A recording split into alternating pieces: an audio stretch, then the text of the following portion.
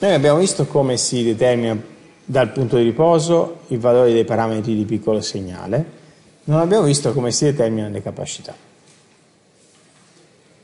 E il modo in cui si determinano le capacità tipicamente è facendo eh, ricorso a un parametro del transistore che di solito viene dato nel, eh, nel datasheet, cioè nella scheda tecnica del transistore, che è la frequenza di taglio. La frequenza di taglio è direttamente legata al valore delle capacità. Allora, vediamo un attimo in che cosa consiste e come si usa. Questo è un discorso che vale sia per il bipolare sia per, il, eh, sia per i FET, definite essenzialmente nello stesso modo. Dico prima la definizione nel caso del bipolare. E la frequenza di taglio è la frequenza, è la frequenza alla quale il guadagno di corrente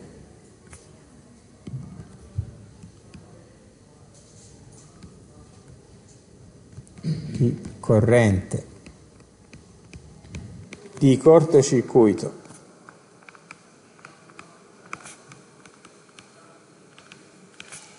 a emettitore comune. Se siamo con un bipolare oppure a source comune se siamo con un FET è uguale a 1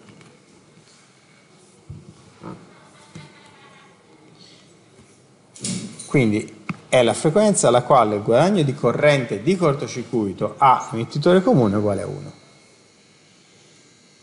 Questa è una cosa abbastanza facile da misurare ed è il motivo per cui si misura ed è il motivo anche per cui si, si fornisce. Che cosa vuol dire? Vuol dire, nel caso di un transistore, vuol dire fare una cosa del genere, mettere il transistore in configurazione a emettitore comune, mettere l'uscita in corto, uscita c'è la corrente collettore, quindi mettere in corto l'uscita. Questo può essere in corto per il piccolo segnale o per, eh sì, tipicamente per, per, il piccolo segnale, perché il transistore lo metto in zona attiva diretta, ok? Quindi questo è in corto, corto per il piccolo segnale e poi andare a vedere l'amplificazione di corrente, il guadagno di corrente, mettendo quindi una corrente sulla base e andando a vedere la corrente in uscita, quindi la corrente emettitore. Il rapporto di C su B alla frequenza Ft per definizione di Ft è uguale a 1. Quindi i C su B in queste condizioni con l'uscita in cortocircuito è il guadagno di corrente di cortocircuito, che tipicamente dipende dalla frequenza, per il fatto che nei transistori ci sono queste capacità interne, e, e per definizione la frequenza di taglio che si indica con Ft è quella alla quale questo guadagno di corrente vale 1. Okay? Per il FET vale esattamente lo stesso discorso. Io metto un generatore di corrente sul gate, è un generatore di piccolo segnale. Eh? Stiamo parlando, io disegno il, transistore completo, ma cioè il cortocircuito e l'ingresso in corrente vale per il piccolo segnale. E poi cortocircuito il drain col source e misuro la corrente di drain e quindi questo, nel caso del FET abbiamo il D sui G che è funzione della frequenza, alla frequenza ft in modulo id su g vale 1. Allora, come vi potete immaginare se guardate il circuito, in un circuito così semplice c'è soltanto il transistore, no? quindi l'unica dipendenza dalla frequenza di, di questo guadagno corrente è determinato dalle uniche capacità che ci sono, che sono quelle interne del transistore. Quindi FT mi dà un'informazione su quali sono le capacità interne del transistore e sapendo qual è la relazione tipicamente noi usiamo ft per determinare le capacità interne. Ok? Questo vale sia per i bipolari sia per FET. Quindi eh, il motivo per cui si usa per quello è proprio perché è un, è un tipo di misura particolarmente semplice in cui di fatto gli effetti della rete polarizzazione vengono completamente bypassati perché entro corrente e cortocircuito l'uscita, quindi la rete polarizzazione non la vedo proprio. E quindi però um, riesco a ottenere informazioni abbastanza precise sui, sulle capacità interne. Allora, è, è, utile se calcoliamo questa relazione, vediamo che cosa uguale.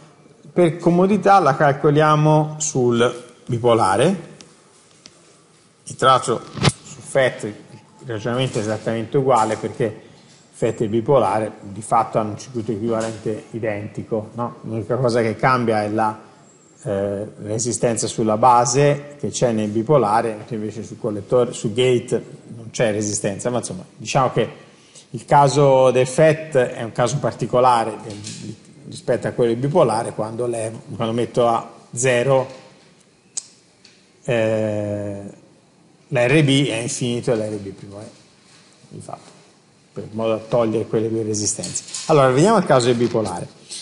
Vediamo il circuito di piccolo segnale e calcoliamo C sui B sulla la frequenza e vediamo quando è che C sui B è uguale a 1. Circuito di piccolo segnale.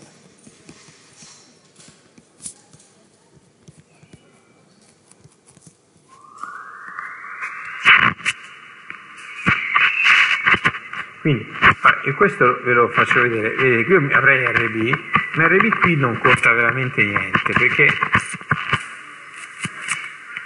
qui c'è RB più E, e qui c'è CB più qui c'è CB qui c'è CM UB più E, qui c'è RO e qui c'è il cortocircuito.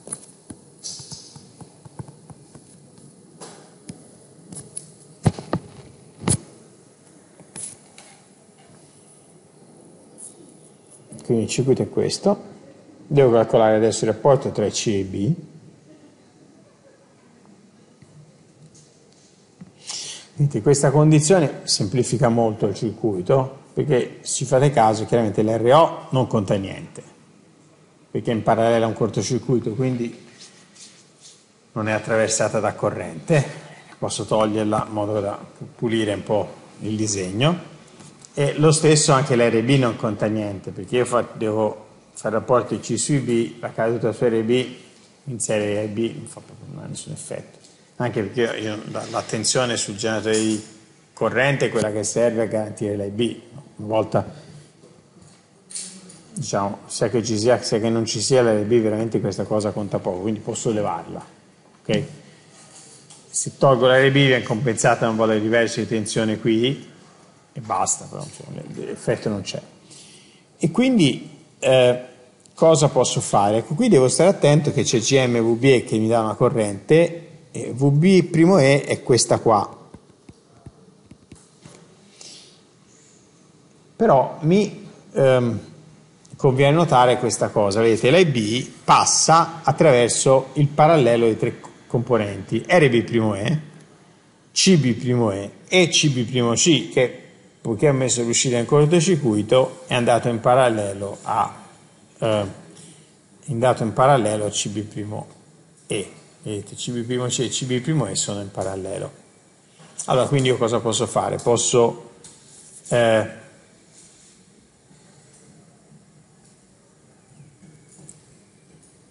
scrivere la seguente cosa, IB è uguale a VB''E per l'ammettenza di, di, questi tre componenti in parallelo. No? IB è uguale alla tensione per un'ammettenza. L'ammettenza di questi tre componenti in parallelo sono due capacità e una resistenza. L'ammettenza di tre componenti in parallelo è uguale alla somma delle ammettenze. Quindi sommo e devo mettere RB'E più l'ammettenza della capacità CB''E, che è CB''E per S, più l'ammettenza della capacità CB''C, che è CB''C per S. Quindi vedete, dai B io trovo quant'è VB''E. Quando ho trovato quant'è VB''E, so quant'è GM VB''E, quindi di fatto so quant'è IC, perché a questo punto IC è uguale a questa corrente la GM VB', meno quella che viene da questa parte. Quindi IC è uguale a GM VB', meno la corrente che passa attraverso CB', che è la tensione capi di CB', che è VB', perché ci sono in corto, per l'ammettenza di CB', che è CB', per S. Quindi sono a posto. Di fatto che cosa ho? Ho ricavato il C in funzione di VB', il B in funzione di VB', e quindi posso ricavare il C sui B in quelle condizioni. E viene una cosa che dipende dalla frequenza. Ok? Che c'è S, e quindi posso fare uno studio di funzione e vedere quando è che quella roba lì è uguale a 1. Qual è il valore di S? In modo da trovare la frequenza. Allora, facciamo il conto. Il C sui B, giro pagina, il C sui B lo scrivo mettendo in evidenza VB', e semplificando, quindi già la faccio sparire, quindi mi viene IC sui B uguale a che cosa? A numeratore mi, mi viene soltanto GM, ho detto VB' e lo tolgo, quindi meno CB''C per S, quindi mi viene uno 0, e a denominatore, andiamo lì, copiare l'espressione, al denominatore ho questo termine qui, 1 su RB' più CB' più CB' per S, quindi mi viene eh,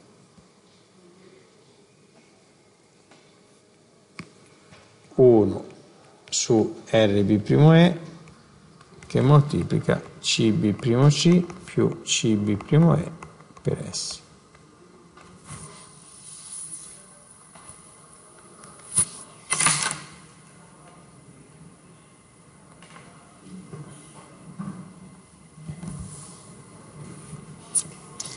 Allora, qua ci sono, forse mi conviene moltiplicare eh, per vedere bene dove sono poi le zeri, tutti, tutto per RB', così trovo la forma di, di scrivo nella forma di Bode con termini noti uguali a 1. Guardate, se moltiplico per RB', mi viene il prodotto GM per RB', ma se vi ricordate GM per RB' è HFE.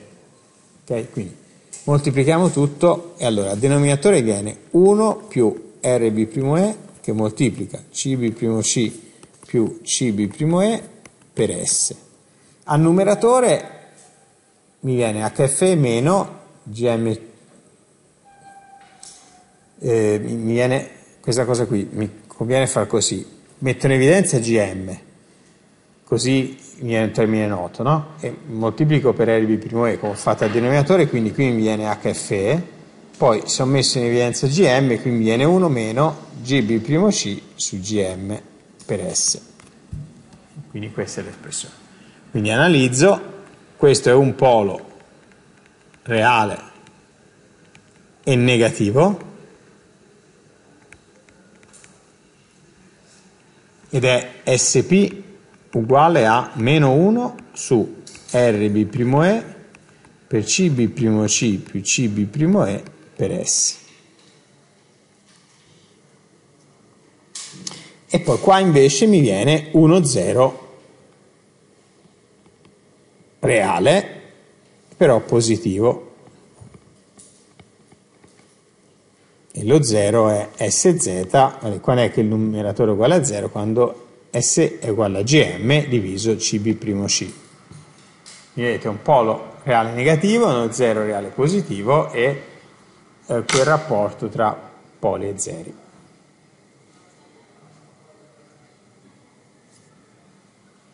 Qui, questo scritta così, C su V è esattamente il guadagno di corrente di cortocircuito, che dipende dalla frequenza, che abbiamo 1 0, e, e probabilmente ci sarà un valore di omega per cui quel rapporto ha modulo 1 e quel valore di omega per definizione è la frequenza di taglio. Allora, una cosa che eh, dovreste notare è questo, vedete, quando S è uguale a 0, il rapporto C su B fa HFE, che è normale, è giusto che sia così, se, se le capacità interne non contano, il circuito si comporta come un eh, generatore di correnti, la corrente d'uscita, la corrente di collettore, HFE per la corrente di base, niente di speciale, questa è giusto una riprova del fatto che le cose tornino. Poi l'altra cosa che ha senso fare è vedere il, eh, dove sono messi lo 0 e il polo. E la cosa che si vede eh, bene è che il, lo 0 è molto più grande del polo. E se provate a fare il rapporto tra S e modulo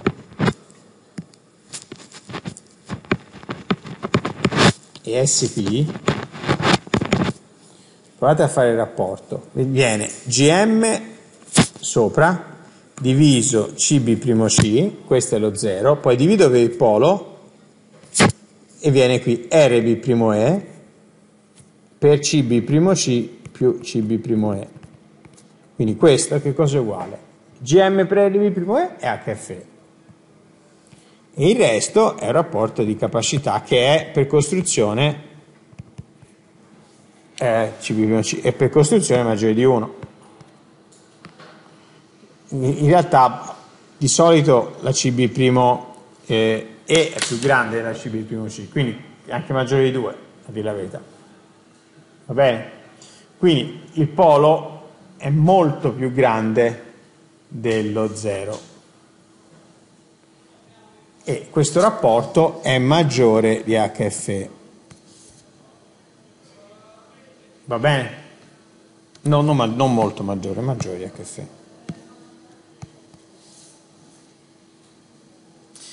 Questo che cosa vuol dire? Vuol dire che se io vado a fare il diagramma di Bode di questa relazione, il diagramma di Bode viene così. Immaginate che io faccia C sui B in dB, modulo in dB, e qui ci metta omega. Allora io ho un, un polo, uno 0, e so che quando S uguale a 0 questo vale HF, quindi a frequenza nulla ho HFE in dB e poi ho prima il polo e poi più avanti ho lo 0. Allora, vedete, quindi che cosa succede? Qui si scende con una pendenza di 20 dB per decade e poi si va piatti.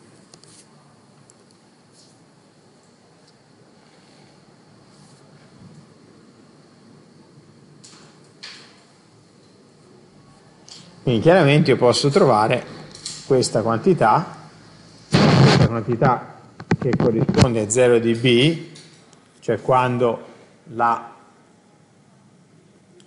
perché si passa da una quantità maggiore di 0 a una quantità minore di 0, è decrescente l'andamento, questa è una curva con meno 20 dB per decade,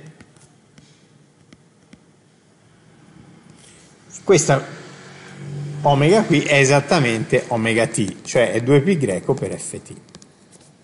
In questo punto la curva passa per il 0 dB, cioè vale 1.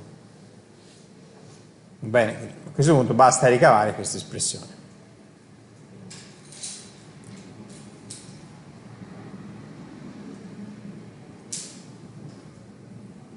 Quindi proviamo a scrivere eh, J i, i C sui B di J omega T, questo vale 1, e sostituiamo, quindi abbiamo HFE che moltiplica 1 meno CB''C per J omega T diviso GM fratto 1 più RB'' per CB primo C più CB primo E omega T, e questo, qui c'è il J.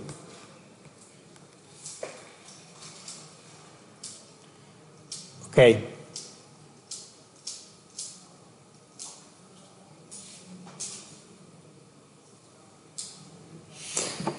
Allora, ora, quello che dovete notare è la cosa seguente. Se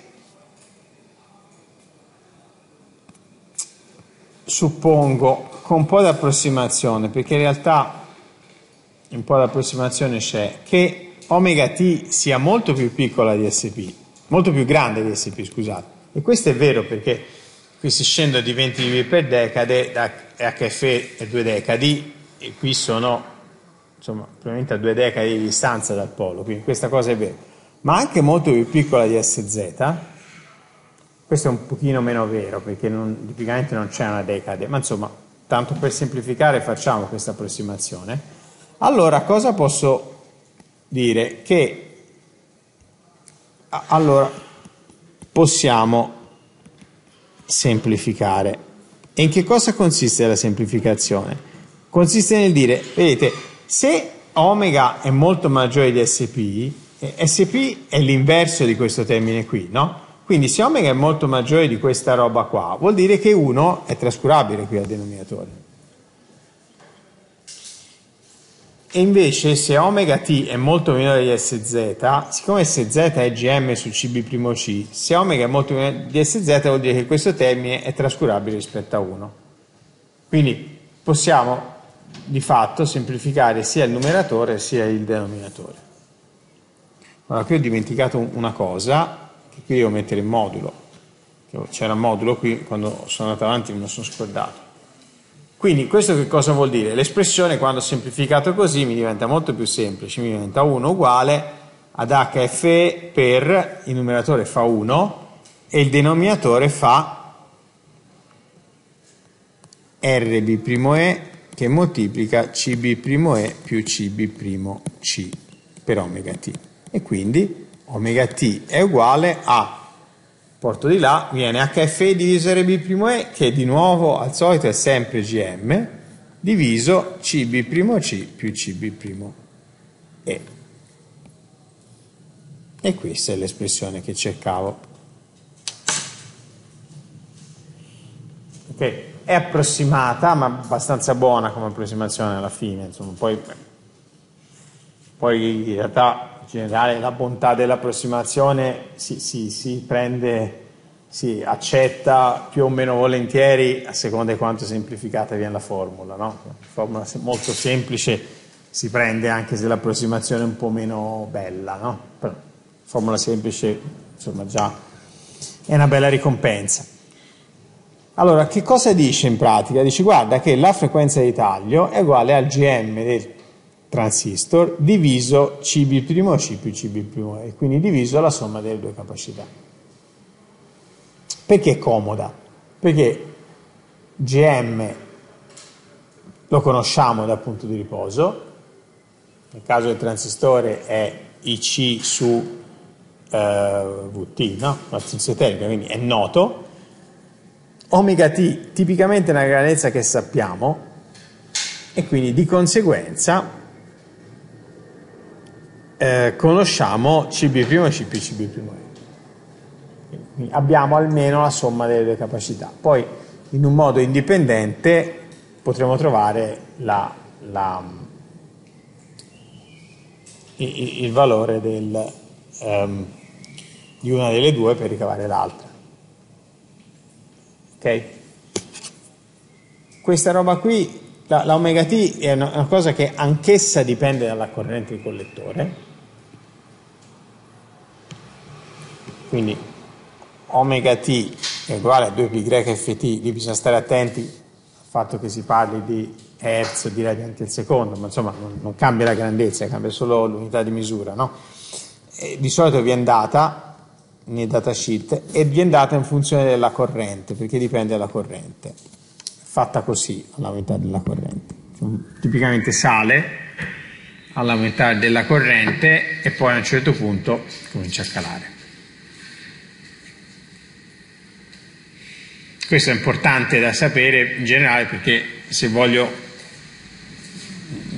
dire, un circuito che funzioni bene a alta frequenza deve avere un'omega T alta, no? perché avere un guadagno di corrente alto anche ad alta frequenza e quindi per ottenere un comportamento migliore in alta frequenza mi sposto verso correnti più alte. Questo impone un, un, un, compromesso di progettazione, no? perché corrente di polarizzazione più alta vuol dire consumo più alto, però vuol dire omega T più alto che di solito mi garantisce una banda più alta. Okay? Per cui eh, diciamo le due, le, le, le due, cose effettivamente eh, vanno gestite, ecco. la scelta della corrente si fa anche in base a quel fattore giusto per riassumere un po' di cose che ci siamo detti nel tempo, e chiaramente più la corrente è bassa, meno consumo, perché quello mi dà una corrente che viene consumata anche quando non c'è segnale, no? la corrente di riposo, quindi questa potenza dissipata proporzionale al valore della corrente, no? a parità di, di, del resto. Quindi quel, questa è un'esigenza che mi farebbe spingere verso basse correnti per consumare meno. Contemporaneamente però sia il valore di HFE, abbiamo già visto insieme, sia il valore di omega T sono eh, proporzionali alla corrente. In realtà lo sono perché tutte e due dipendono dal GM che ovviamente aumenta quando aumenta la corrente. Okay? E questa è un'altra esigenza che mi spinge ad eh, impiegare correnti più alte.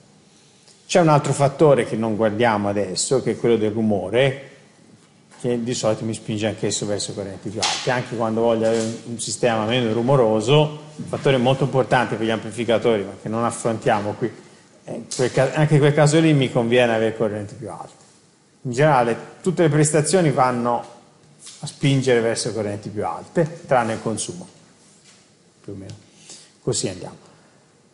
Va bene, allora quindi per dire cosa questo? Che se noi vogliamo ricavare valori delle capacità interne del transistore, dobbiamo andare a conoscere il punto di riposo, perché ci serve il GM in funzione del punto di riposo e perché anche omega T dipende dal punto di riposo. Quindi prendiamo quei valori e da quelli andiamo a calcolare la somma di eh, CB''E più CB''C.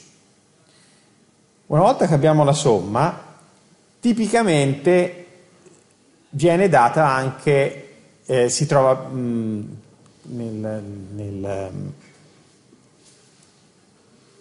nel datasheet del transistore il CB''C, cioè la capacità della giunzione che è polarizzata inversamente. E quella è una cosa che si misura facilmente. Tra l'altro non cambia neanche tanto col, col, insomma, se, se, il punto di riposo non si sposta tanto, quella capacità non cambia neanche tanto. Quindi a volte mi è dato il grafico in funzione della tensione tra base e collettore, a volte mi è dato, vengono dati un paio di valori per due valori diversi e non sono tanto diversi tra di loro, che vuol dire che insomma, si può prendere uno dei due e andare avanti. Okay? Per cui di solito uno ricava la somma delle due capacità dall'FT, la capacità della giunzione polarizzata inversamente la legge nel datasheet e per differenza trova l'altro. Così ci abbiamo tutte e due e questo ci serve per ricavare poi i limiti superiori di banda del, del, del, dell'amplificatore. Okay. Per i FET il discorso è esattamente identico perché per i FET abbiamo eh, in pratica come è fatto il circuito? Vedete, si prende effetti, il circuito è fatto più o meno nello stesso modo, l'unica cosa che cambia è che non c'è l'RB, c'è un corto, ma tanto non conta niente l'RB in questo circuito, no? Avete visto in serie al generatore corrente è come se non ci fosse, quindi il fatto che non ci sia nei, nei FET non, non, non mi cambia niente nell'analisi. L'altra cosa che non c'è nei FET è la eh, RB più E, tende a infinito. No? Però vedete in pratica che cos'è che cambia? Se mettete l'RB più E che tende a infinito, in sostanza eh, il termine 1 su RB primo E va a 0 e poi non cambia granché. Quindi questo, l'analisi la posso fare più o meno nello stesso modo, perché eh, vedete qui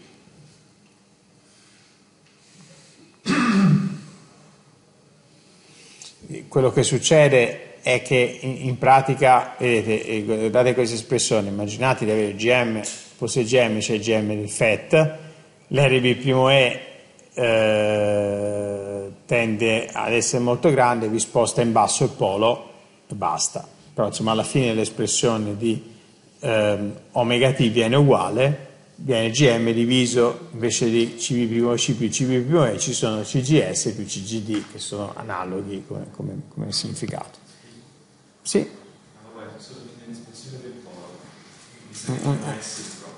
Può darsi, un secondo che scrivo, scrivo questo poi dopo.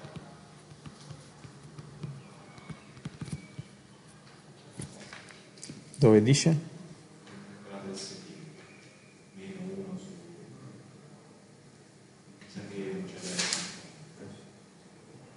Dove... Ah, ovviamente sì. Sì, sì, sì, ho ricavato S, quindi questo non c'è.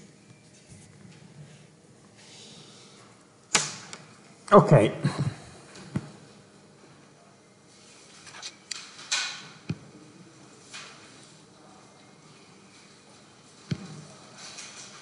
Va bene.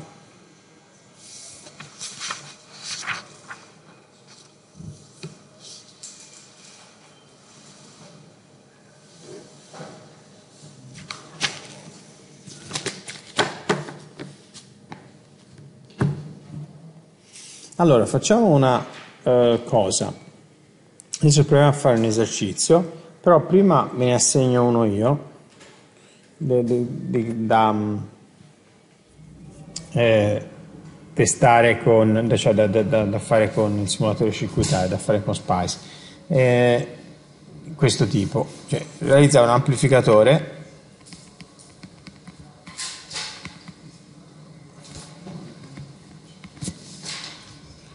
che eh, beh, facciamo l'esempio che abbiamo visto, eh, che abbiamo detto un po' di volte oggi durante la lezione, un amplificatore audio, ok? Con amplificazione a centrobanda eh, 60, no, un po' di più, 200 limite inferiore di banda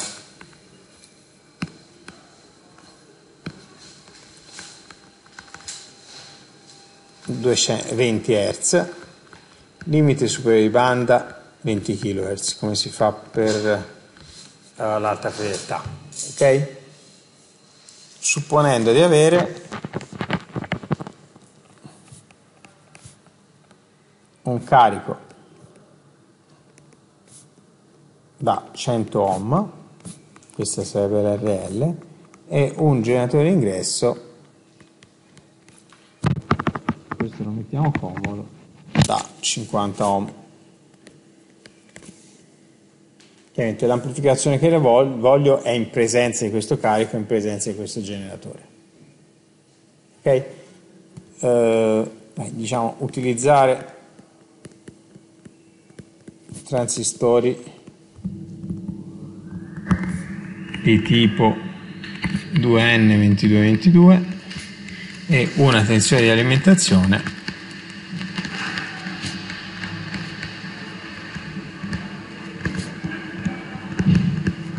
di 12 volt. Ok? Facciamo un, un uh, ragionamento iniziale su come va fatto questo. Com'è che va fatto? Dovete eh, prima scegliere quanti stadi servono all'incirca, poi dopo si tratta di scegliere il punto di riposo dei transistori, eh, scegliere la rete polarizzazione per ottenere il punto di riposo aggiustare l'amplificazione e sull'amplificazione potete giocare sulle resistenze che non sono eh, vincolanti per il punto di riposo, su quelle o su come le bypassate poi al centro banda, no? così avete un, dei gradi di libertà in più, e poi eh, imponete i limiti di banda, i limiti di banda inferiori come abbiamo visto ora, potete mettere le capacità tutte uguali, tanto non, non cambia molto. Quindi calcolando le resistenze viste e i limiti superiori di banda aggiungendo una capacità in più, no? per, per, per limitare la banda giusto per darvi qualche dritta, no? E, chiaramente ci vuole un multistadio, con uno stadio singolo non ce la fate, e una possibilità è quella di fare un ragionamento del genere. E la resistenza d'ingresso è piccola, quindi non, non vi pone problema il partitore in ingresso. Vi può, vi può porre il problema la resistenza d'uscita perché il, car- il carico a 50 ohm e basta? Quindi cosa vuol dire? Che è piccola la resistenza del carico. E se non volete avere un partitore sulla resistenza del carico che vi abbatta molto la, la, la, l'amplificazione, vi conviene avere un ultimo stadio con una resistenza d'uscita piccola. E questo per esempio, tra gli stadi che abbiamo visto, è lo stadio a collettore comune. Ok? Quindi immaginate fare un multistadio, l'ultimo stadio lo fate al collettore comune. Il collettore comune però cosa succede? Non vi dà guadagno di tensione, no? vi dà un guadagno che è più piccolo di 1. Questo vuol dire che quel 200 lo dovete fare con gli stadi che stanno prima. E allora qui l'unica, la, la, diciamo, la cosa probabile è che vi servano altri due stadi prima a emettitore comune, oppure forse anche un altro stadio solo a emettitore comune potrebbe bastare, lì va fatto bisogno di... va provato, perché può dipendere molto dal tipo di rete di polarizzazione che mettete, ok? Difficile dire a priori. Quindi questo viene un doppio stadio CE-CC oppure due stadi CE e poi uno stadio CC. I limiti di banda non sono un problema, ecco, in generale 20 kHz è una frequenza piccola come i limiti superiori di banda, per cui anche, un anche uno stadio di emettitore comune che amplifica tanto, con quel tipo di transistore vi riesce a dare 20 kHz di limiti superiori di banda. Ok? Quindi, allora, pensateci un po' Vabbè, riguardiamo un pochino insieme tutto. Allora, i tre stadi, immaginate di farlo tre stadi o due stadi. Potete provare a farlo due stadi perché è più semplice che farlo tre stadi, col rischio che se però non funziona poi dovete fare tre stadi. Okay? E non ve lo so dire se funziona o no, perché veramente dipende da, da, da tanti dei parametri che scegliete. Quindi è difficile dirvi subito se vanno o no. Poi, come scegliere il punto di riposo, più o meno l'abbiamo visto in questo caso non potete sbagliare sul punto di riposo, okay? nel senso che insomma, tutte le correnti vanno bene, il guadagno è un po' più alto se la corrente è più alta, quindi se mettete uno stadio solo portate un po' in alto la corrente perché così, eh, così guadagno un po' più grande. Okay? E quindi è più facile riuscire a beccare i 200. Poi però non, non avete problemi. Poi dovete polarizzare in zona attiva diretta i transistori, quindi scegliere una VCE dopo la IC, può essere un mA, 2 mA, 5 mA, 10 mA, va tutto bene. La VCE dovete sceglierla non troppo piccola, insomma, per esempio, eh insomma, come abbiamo fatto l'altra volta, circa la metà de, de, de, dell'alimentazione, un po' di meno della metà va bene sempre. E poi polarizzate i transistori. Eh, una volta scelto il punto di riposo, se fate gli stadi a emettitore comune, abbiamo visto insieme, l'amplificazione dipende da quanta parte dell'RE eh, bypassate. Quindi di fatto quanta parte bypassate dall'RE non vi tocca il punto di riposo, no? perché per il punto di riposo l'RE è tutta presente. Quindi potete usare quello come grado di libertà per l'amplificazione. Quello è un fattore che agisce soltanto, influenza soltanto il valore della eh, amplificazione del centro banda, ma non influenza il punto di riposo. Okay? Quindi una volta che avete fissato quello, immaginate di aver fatto l'amplificazione del centro banda e viene 200. Ok? A questo punto dovete andare a toccare e a verificare i limiti di banda. Per i limiti di banda inferiore, abbiamo appena visto, si tratta semplicemente di usare la formula, calcolare le resistenze viste e poi imporre 20 Hz e scegliere le capacità. Per comodità potete prendere tutte uguali e trovate il valore che vi serve. Ok? Su, al limite superiore di banda invece che cosa fate? Potete, dovete risolvere il circuito in alta frequenza, potete andare a trovare, eh, cioè dovete calcolare tutte le resistenze viste con cui ottenete il limite superiore di banda, libero, che non vi verrà a 20 kHz, vi verrà più grande e quindi dovete fare come vi dicevo poco fa, cioè aggiungere una capacità in più per aggiustare il limite superiore di banda. Ok? Quindi decidete dove mettere la capacità in più, calcolate la resistenza vista da quella capacità e poi eh, diciamo, scegliete il valore per ottenere il limite superiore di banda che vi è richiesto. E, ed è finito. Ok? La sequenza è abbastanza eh, eh, come dire, ehm, standard. Chiaramente se in ognuno di questi passi non riuscite, perché c'è un vincolo che non riuscite a superare, per esempio anche bypassando tutte le RE non riuscite a ottenere l'amplificazione del centrobanda richiesta, a quel punto c'è poco da fare. Ci vuole uno stadio in più probabilmente di, che, di quello che avete messo, oppure avete perso attenuazione da qualche parte in modo eccessivo, bisogna un po' vedere. Okay? Difficile, però si tratta, se a un certo punto uno dei risultati non è ottenibile, si tratta di tornare indietro e di discutere le scelte fatte per cercare di capire dov'è che si è perso in, in, in, la, la, la, possibilità di rispettare la specifica, no? e, e così via.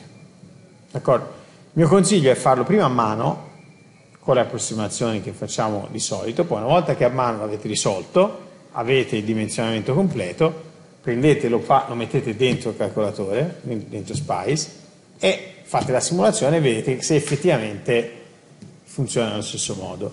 Di solito non funziona nello stesso modo, perché avete fatto le approssimazioni nel calcolo a mano che in Spice non vengono fatte perché avete preso dei modelli leggermente diversi da quelli che vengono usati dentro Spice quindi uno a quel punto però che cosa succede? Le specifiche non tornano più esattamente, ma in modo approssimato tornano. E quindi a quel punto cos'è che uno fa? Dice, poniamo, supponiamo che io abbia imposto l'amplificazione del centrobanda 200, abbia fatto tutti i calcoli per ottenere 200, vado dentro Spice, metto tutto dentro, mi viene 240. Allora che cosa devo fare? Devo abbassare l'amplificazione. No? Come si fa a abbassare l'amplificazione? Lo sappiamo basata l'amplificazione, per esempio se ho fatto degli stadi a emettitore comune, devo bypassare un po' di meno la resistenza sull'emettitore. Allora toccate direttamente sul circuito la resistenza sull'emettitore, la alzate fin tanto che l'amplificazione avviene 200. A quel punto, probabilmente se avete cambiato la resistenza sull'emettitore, vi sono cambiati i limiti superiori di banda, a quel punto andate a ritoccare il valore della capacità in più che avete aggiunto per rimettere a posto il limite superiore di banda. Okay?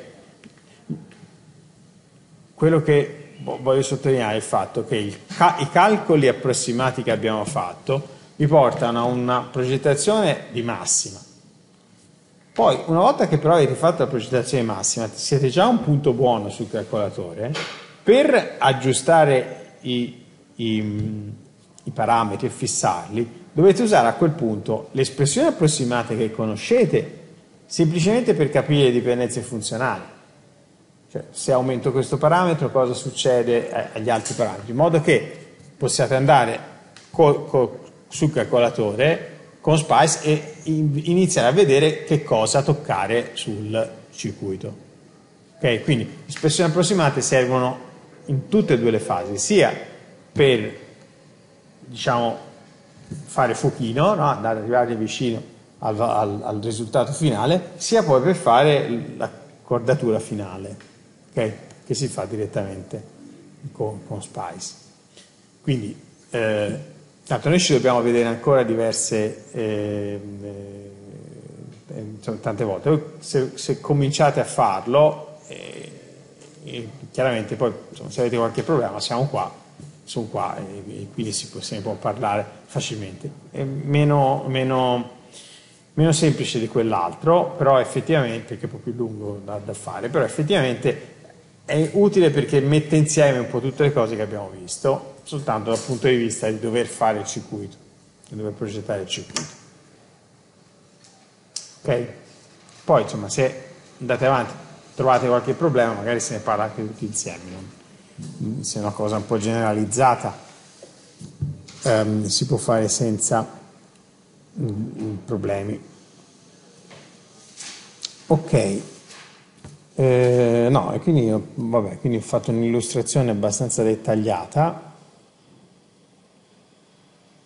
di questo, che avevo detto adesso ci entra anche di cominciare l'esercizio, ma in realtà non c'entra di cominciare l'esercizio, questo lo facciamo direttamente eh, lunedì. Okay? A lunedì facciamo questa cosa, prendiamo un esercizio d'esame basato su un amplificatore e ce lo facciamo tutto piano piano dall'inizio alla fine. Okay? È, è, questa è una cosa che vi serve perché così poi potete esercitarvi ne faremo qualcuno, non, più, non, uno soltanto, tutto insieme. Il primo lo facciamo lento lento, in modo da, da, da, da riguardarlo tutto e che possiate anche notare tutto quello che non vi ricordate dovete andare a riguardare. Okay? Così lo fate. Poi chiaramente dovete esercitarvi un po', eh, sicuramente anche da soli, cioè vanno fatti. E, e tenete presente che quello che facciamo è esattamente la stessa cosa che va fatto per risolvere questo esercizio. No? soltanto che in questo caso lo facciamo sapendo il valore dei componenti, voi lo dovete fare scegliendo poi il valore dei componenti, che l'esercizio in buona parte è simile. D'accordo, ci fermiamo qua.